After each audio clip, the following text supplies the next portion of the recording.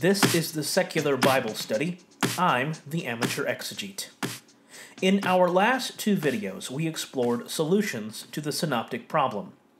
First, we explored the Augustinian hypothesis, which asserted that Matthew wrote his gospel first, Mark used Matthew's gospel when composing his own, and Luke used both Matthew and Mark in composing his. We then looked at the two gospel hypothesis, which asserted that Matthew wrote his gospel first, Luke drew upon Matthew to write his own, and Mark used both Matthew and Luke to compose his.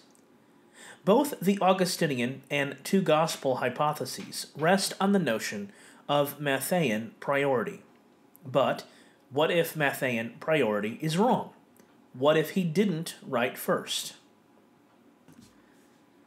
Beginning in the 19th century, critical scholars became increasingly convinced that the first of the four canonical Gospels to have been written was actually the shortest, the Gospel of Mark.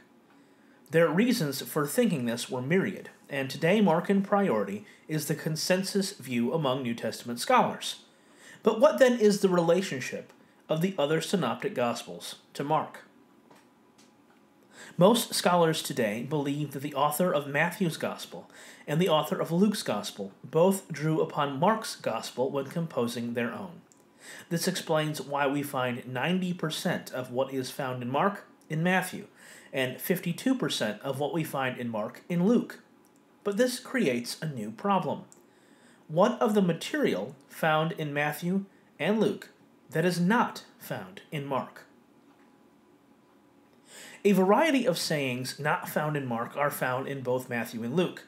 For example, all three of the Synoptic Gospels mention Jesus' baptism. But Mark lacks a series of sayings from the lips of John the Baptist that are found in both Matthew's Gospel and Luke's. The presence of these and other passages has led scholars to postulate that, in addition to using Mark's Gospel as a source, Matthew and Luke had access to a source that is no longer extant, which they call Q, from the German word Quelle, meaning source. The idea that Matthew and Luke both used Mark and Q in composing their Gospels is known as the two source hypothesis. Of all the solutions to the synoptic problem, the two source hypothesis is far and away the best received in New Testament scholarship. But anyone who has read the Gospels of Matthew and Luke know that while they certainly share material with one another that came from Mark or perhaps Q, there is material that neither of them share with one another that cannot be traced to Mark or Q. The clearest examples of these are seen in the birth narratives found at the beginning of each Gospel. These two narratives, as well as the accompanying genealogies, must have come from somewhere, either by invention or from earlier sources.